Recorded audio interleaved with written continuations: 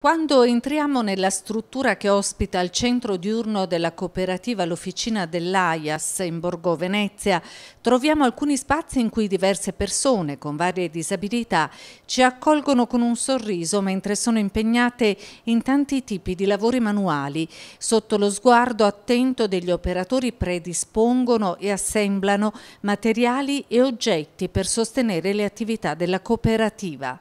La cooperativa L'Officina dell'AIAS eh, si occupa di servizi alla persona, persone disabili, partendo dal semiresidenziale con due centri diurni, due comunità eh, residenziali, una comunità alloggio e una comunità residenziale, Stiamo partendo con una nuova avventura, come avete potuto apprendere, sull'apertura di, un, di un ostello dove far lavorare le persone disabili che non possono essere inserite in centri diurni. In questa cooperativa i volontari sono una vera forza e con queste attività giornaliere gli ospiti possono esprimersi e crescere.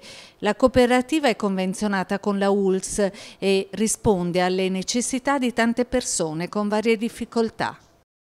Eh, diciamo che noi cerchiamo di capire la persona eh, che abbiamo di fronte e in base alle esigenze e ai bisogni creiamo dei servizi ad hoc per la persona.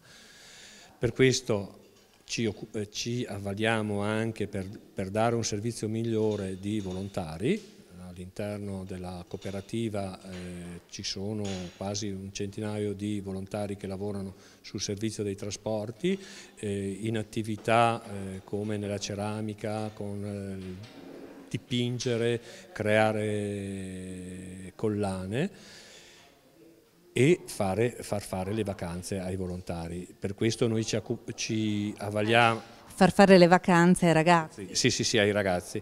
Per questo noi eh, ci avvaliamo di due eh, associazioni di volontariato, una è il CARS e l'altra è il Villaggio che ci supportano e ci danno una mano.